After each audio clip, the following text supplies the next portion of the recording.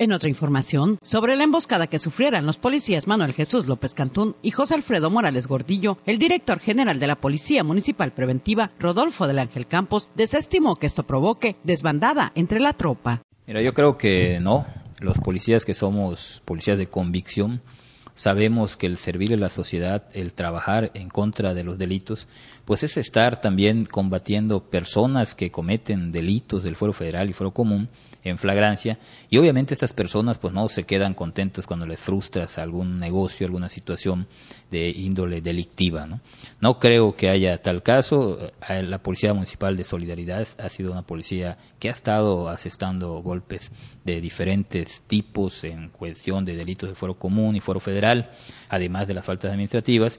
Y bueno, es nuestra función, sabemos el riesgo que corremos, desde que ingresamos sabemos que tenemos un riesgo como policías. Y puntualizó que todo policía en estos momentos deberá de extremar sus precauciones y seguir siendo policía hasta en casa. Esto porque los asesinatos contra policías en todo el país han ocurrido cuando se convierten en seres humanos y dejan de lado el hecho de ser policías. Y sobre la especulación que está recubriendo la tropa sobre una posible traición de los policías contra los policías ejecutados, este pasado lunes trágico precisó que eso es solo una lamentable especulación. Nosotros somos una policía preventiva, trabajamos contra delitos en flagrancia.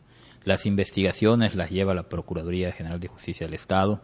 Eh, no podemos especular, no podemos decir que sucedió una cosa, sucedió otra, o se debió a una o a otra. Eh, esto lo determinarán las investigaciones. Del Ángel Campos dijo que todos aquellos que son policías de carrera en estos momentos no sienten miedo, sino coraje, y no permitirán que grupos delincuenciales se asienten en solidaridad e implanten su ley a sangre y fuego.